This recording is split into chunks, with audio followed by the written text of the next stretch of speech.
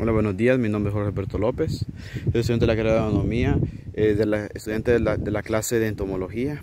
Eh, hoy andamos esta mañana en, la, en, el cultivo de tabaco buscando plagas. ¿Cuáles son las plagas que atacan este, esta, este cultivo? Este es un tabaco variedad habano. Eh, pueden ver, esta es una hoja del tabaco.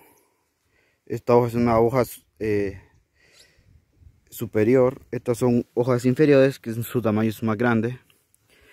En este día andamos buscando plagas. Este tabaco ha sido controlado para la mosca blanca. Se han encontrado un, cierta cantidad de, moscas en, en, el transcurso de los días, pero ha sido controlado. Si, como pueden observar, en este día no se encuentra ni una mosca blanca. No se puede, no hay. Han sido controladas. Como pueden observar, aquí se encuentra una mosca blanca en el envés de la planta. Voy a observar aquí en este punto. Ahí se encuentra la mosca blanca, miren. También este tabaco ha sido atacado por un hongo llamado moho azul. Eh, para el control de ese moho se, se aplicó Acovac. Pueden ver, este es el resultado del moho. Este moho se traba, trabaja en la parte infer, inferior de la hoja.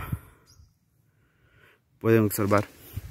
Esta es la flor del tabaco. Estas plantas son capaces a cierta altura, con cierta variedad de hojas, con ciertos pares de hojas, para el engrosamiento de sus hojas.